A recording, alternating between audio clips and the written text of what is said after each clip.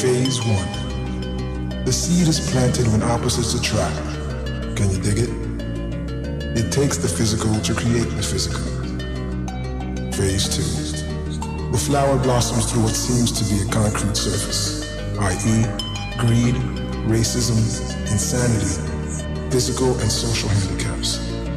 These are the things that mold the flower. Red rose or black rose, no in between. Phase 3. The judgment.